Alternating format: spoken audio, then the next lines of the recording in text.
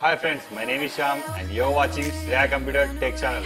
Friends, today is the good news for LG G3s users. Android Oreo 8.1 was released to these users. So friends, if you want to feel the Oreo 8.1 real experience, then you should follow these steps. Before installing this ROM, you need to enable three steps. Enable developer option, unlock bootloader, and the third one, install TWRP. Let us our device boot into TWRP recovery mode by pressing volume up and down and power button simultaneously.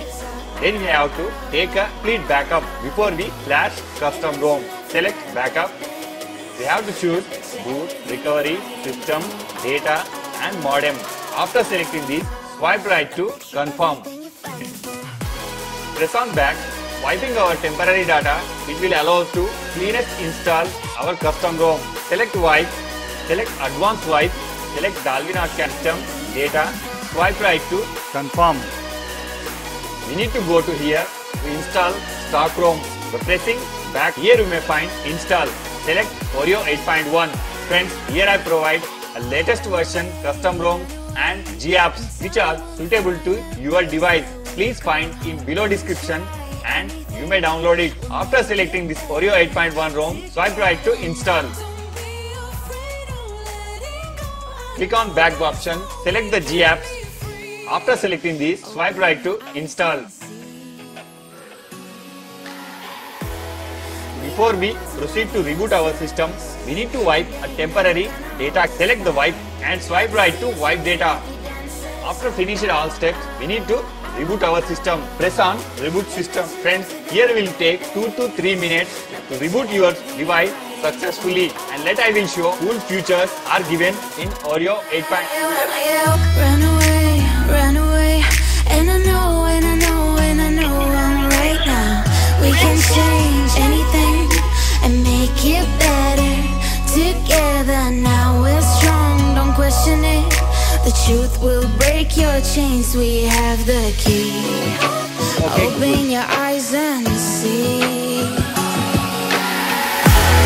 We are the ones who know the answers, and they ain't never gonna hold us back. The sea is rising like we dancers. Ah, ah, ah, ah, ah. Imagine life without a purpose. Now picture